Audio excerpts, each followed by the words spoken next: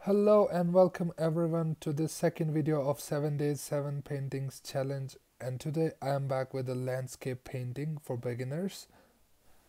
You can start the painting on canvas or on paper with acrylics or oils whatever you want. So first of all here I'm going with Prussian blue. I'm painting on a paper uh, this is A4 size and that's why I'm using a small brush. If you're painting on a large canvas you can use a large brush for this purpose. I'm painting the upper part of my sky with 1 inch brush in Prussian blue. You can see I'm pushing the color into this paper because it's not uh, accepting the color very much. And right now I'm using alizarin crimson here. You can see uh, some Prussian blue color is uh, coming out of my brush and mixing into the alizarin crimson but this is not a problem for me because I'm painting in oils and I can correct these mistakes later on.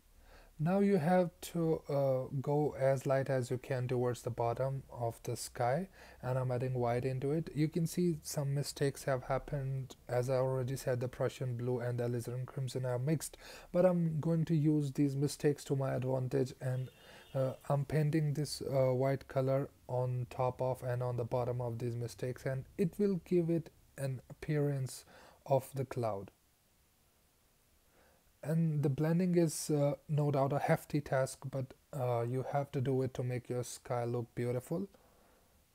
And right now, with a small amount of midnight black, I am making this uh, maybe kind of land here where the light isn't falling very much. And this is exactly going to be the base of my grass. and uh, just uh, make sure the upper part of this black uh, piece of land is a little lighter than the lower part.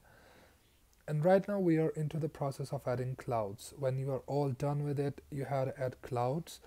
I'm using a small brush here and a small amount of titanium white as well just to paint the basic shape of the clouds. And these clouds are uh, resting uh, very far behind this piece of land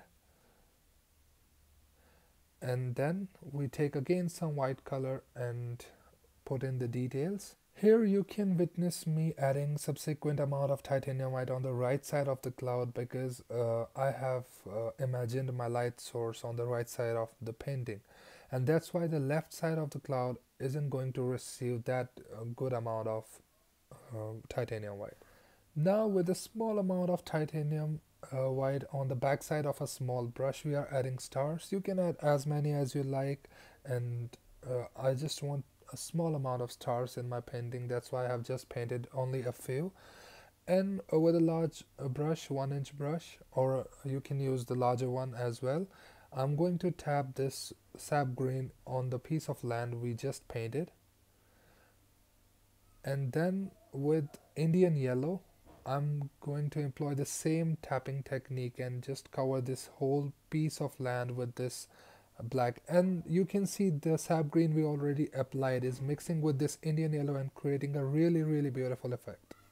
So here we are done with this and it will take only a few seconds to complete this and when you are done with making the grass the final thing that you are going to do is to paint some beautiful trees and with a small brush again I'm employing midnight black and just painting the basic shape of a tree first. And make sure you paint your trees.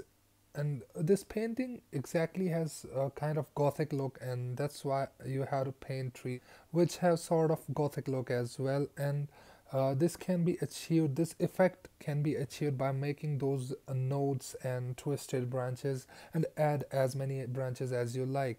And this is the largest tree now painting and in a similar way, identically, we are going to paint other trees as well. But I'm just going to keep these two uh, trees smaller in size and this is uh, how you can complete your trees. The final thing in this painting is adding some shades uh, not shades but highlights. And with a liner brush and small amount of titanium white on our brush we are just adding these highlights on our trees. Because as I already said the light source is on the right side of the painting.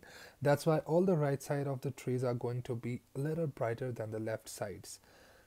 And this is how you can complete your painting and finally uh, here I have decided to add a little path. That's why uh, I'm just here going on with this white and alizarin crimson. And my path is complete and my painting is ready.